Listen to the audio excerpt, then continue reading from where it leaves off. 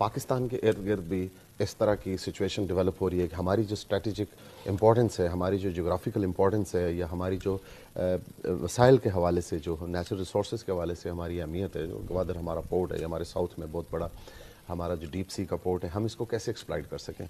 सवाल ये पैदा होता है कि वो कुतें हमने पहले ये थीसिस डेवलप किया कि मिडल ईस्ट में इम्पीरियल पावर्स के मफादात की जंग हो रही है, जिसका निशाना हम बन रहे हैं। हमारा कसूर ये है कि वो हमारे खत्े में हो रही है। हम उस स्टेज में हैं, इसलिए हमारे बच्चे मर रहे हैं। हमारे कहीं से भी बम फेंका जाएगा, चाहे वो किसी रिचुअल फोर्स की तरफ़ से किसी राइटिस फोर्स की तरफ़ से आए या किसी रॉन्ग फोर्स की तरफ़ से आए बच्चे हमारे मार रहे हैं। अगर कोई अच्छाई वाली किसी बुराई को खत्म करने के लिए जो बम आ रहा है उसमें भी हमारे बच्चे मार रहे हैं। और अगर कोई बुराई पैदा करने का बम आ रहा है उसमें हमारे बच्चे मर रहे हमारा स्टेज हम दोनों तरफ़ से। जब हमने ये थीसिस डेवलप कर लिया कि ये जो कुछ हो रहा है ये ग्लोबल साम्राज्य कुवतों की मफादात की जंग की वजह से हो रहा है। तो क्या आप वो साम्राज्य कुवतें आपको बड़े स्मूथली रूट्स दरियाफ्त करने देंगी? अगर उनके मफादात को खत्े में जद पड़ेगी तो वो आपको कहेंगी कि नहीं ठीक है आप रूट बना लें। आप अपने मफादात आप पैसा कमा लें। ये साम्राज्य की लड़ाइयाँ हैं जो इसमें जीतता है यहाँ समझौते हैं यहाँ अंडर एंड डील्स हैं यहाँ ग्रेट गेम्स हैं। मफादात को एक दूसरे के साथ समझौता करके कुछ लेकर कुछ देकर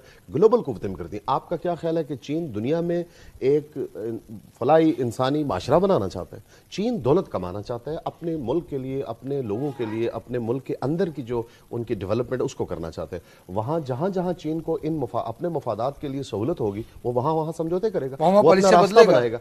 अब देखिए पाकिस्तान में कॉरिडोर बनाने आया है चीन। वेरी गुड चूँकि हमारी स्ट्रेटेजिक इंपॉर्टेंस है हमारा गवादर पोर्ट या हमारे साउथ के जो डीप सी के पोर्ट्स हैं वो एक अच्छा मौका फराम करते हैं दुनिया की बड़ी ताकतों को। लेकिन इसका यह मतलब नहीं है कि वो खालिस्तान हमें नवाजने यहाँ पे आए। और अगर वो हमें यहाँ आते हुए उनको कोई रुकावटें पेश आती हैं किसी और साम्राज्य कुत से उसके मफादात को नुकसान पहुँचता है तो वो उसके साथ डील करें वो ये नहीं करेंगे कि पाकिस्तान का नुकसान हो जाएगा जी लिहाजा हम आपसे डील नहीं करते। तो डॉक्टर साहब ये तो लगता यूँ है कि कल कल कला या हो सकता है इस बात का इम्कान आपकी बातों से नज़र आ रहा है कि कल चीन और भारत के ताल्लुक इतने अच्छे हो जाए हम्म। कि वो पाकिस्तान के लिए नुकसान का बायस बने। देखिए अगर आप थोड़ा सा जो साम्राज्य अजायम होते हैं जो कैपिटलिज्म के अजायम है उनको समझने की कोशिश करें तो पाकिस्तान के पाकिस्तान की इंपॉर्टेंस है, जितनी इंपॉर्टेंस है, पाकिस्तान अगर अपना उतना शेयर ले सकता है तो ये बहुत बड़ी कामयाबी है। हमारी इंपॉर्टेंस क्या है? देखिए, हमने पाकिस्तान में वो सिचुएशन डेवलप नहीं की जो ग्लोबल यूँ कह लें कि फोर्सेस को अट्रैक्ट करें हमारी बेटरमेंट के लिए। हाँ ये है कि हमारे नेचुरल रिसोर्सेज या नेचुरल रिसोर्सेज से मुराद मेरी यहाँ पे हमारे पोर्ट्स हैं हमारा सी जो डीप के उनकी लोकेशन ऐसी है कि दुनिया है। को उसकी जो ट्रांसपोर्टेशन में उसमें आसानी पैदा हो सकती है। दुनिया के मफादात सर्व हो सकते हैं उससे। दूसरी तरफ़ इंडिया है। इंडिया ने दुनिया में अपनी एक ग्लोबल हैसियत को बनवाया है। उस सो मच सो अगर ये इस आपके मौजू से रिलेटेड बात नहीं है लेकिन इंडिया ने अपनी अहमियत क्यों मनवाई है कि ग्लोबल साम्राज्य जो इदारे हैं वो अपना माल बेचते हैं इंडिया में? इंडिया एक मिडिल क्लास है दुनिया की सबसे बड़ी। तेज़ी से कंज्यूमर सोसाइटी है। जो डेवलप हो रही है बहुत तेज़ी के साथ। कश्मीर में आप देखिए हम अपना नरेटिव हम अपना नैरेटिव क्या हम मजलूमों का नैरेटिव दुनिया में नहीं भेज सकते? लोग हमारी बात नहीं सुनते। इंडिया वहाँ पे बम्बार्टमेंट करता है मासूम नैते कश्मीरियों को मारता है उनकी लाशें दुनिया के सामने आती हैं बच्चियों की लाशें बच्चों की लाशें। हम दुनिया को कन्विंस नहीं कर पाते कि ये मासूमों को मार रहे हैं। इंडिया तो इंडिया अपना वहाँ पानी बेचता है। दुनिया को ये कहता है कि ये तो जो इंट्रोजन है यहाँ पे ये नॉन स्टेट एक्टर्स को पाकिस्तानी स्टेट एक्टर्स जो है वो सपोर्ट करते हैं। वो कश्मीर में आके जो है वो लोगों को मारते हैं और नाम भारत का लगाते हैं। या वो वहाँ ऐसी सिचुएशन क्रिएट करते हैं कि भारत की फोर्सेज को अपने डिफेंस में गोली चलानी पड़ती है। दुनिया उनका नैरेटिव खरीद रही है। टॉपिक की तरफ़ बढ़े। तो कुछ हिस्ट्री की बात करते हैं मुल्क की तारीख की बात करते हैं। मुल्क की तारीख में हमने एक नया रिकॉर्ड बनाया नजरी। रिकॉर्ड जरा कम ही बनाते हैं हम लेकिन जब बनाते हैं तो ज़्यादातर नेगेटिव ही होता है अफसोस के साथ।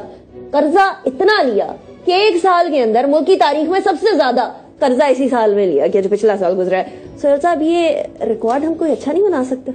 यकीनन बना सकते हैं और बेशुमार शोबों के अंदर ये मौाक़े मौजूद हैं। हम्म। बात वही है कि आप सिंसेरिटी के साथ और एक विजन के साथ अपनी एफर्ट्स करें तो यकीनन हम मुस्बत रिकॉर्ड भी बना सकते हैं। ये एक मनफी एक रिकॉर्ड बनाया गया है।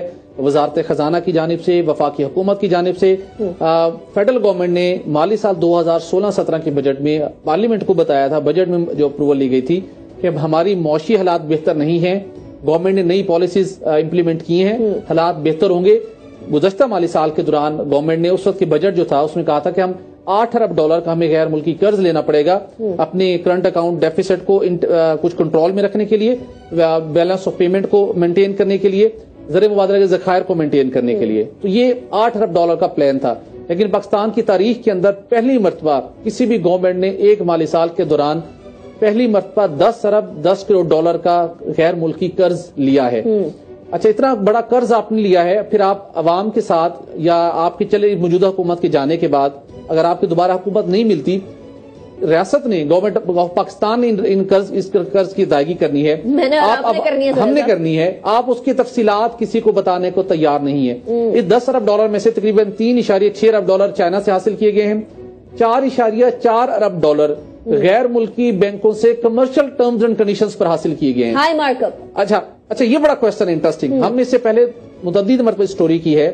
कि हाई मार्कअप पे लिए मुख्तलि सोर्सेज से पता चलता है कि इन्होंने छह परसेंट पे लिए साढ़े चार परसेंट साढ़े पाँच परसेंट पे लिया है।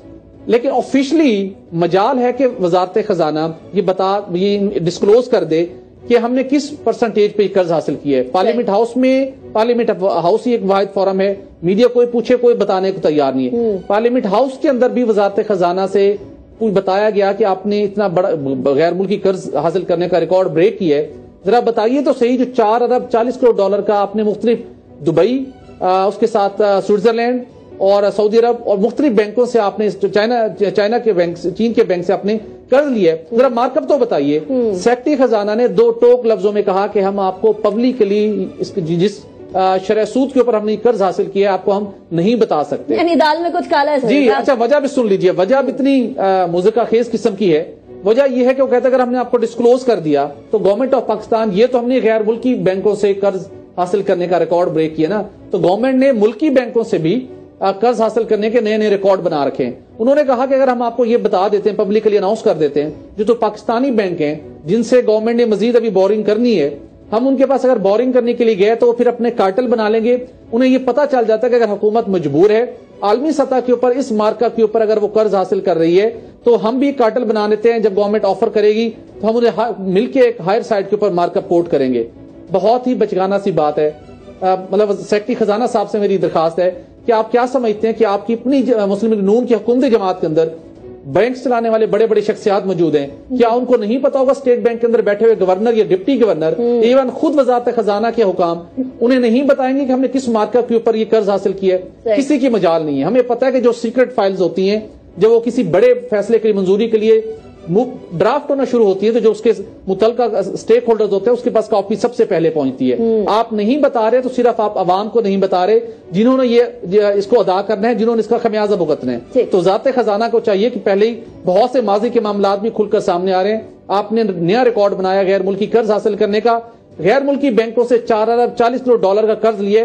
आप हमें बताएँ कि आपने बगैर बिल्डिंग के भी कितना कर्ज हासिल किया है? आवाम को बताना चाहिए उसके ऊपर मार्कअप रेट कितना था? ये रेट भी बताना चाहिए। और ये आप फिलोसफी बदल दें कि बैंक्स को पता चल जाएगा। स्टेट बैंक और वजारत खजाना के अंदर बड़े स्टेक होल्डर के लिए कुछ छुपा हुआ नहीं है। अच्छा राव साहब ये जो बैंकों से कर्जे ले लेकर पाकिस्तान में ला रहे हैं फिर हाई मार्कअप ज़ाहिर है इसके ऊपर सूद के साथ वापस करना पड़ेगा। वो उन्होंने तो करना नहीं है। इनकी हुकूमत अभी चली जाएगी जो पिछले साल अगले साल। तो उसके बाद फिर पता नहीं आएगी नहीं आएगी, आ भी जाएगी तो फिर पाँच साल के लिए आएगी।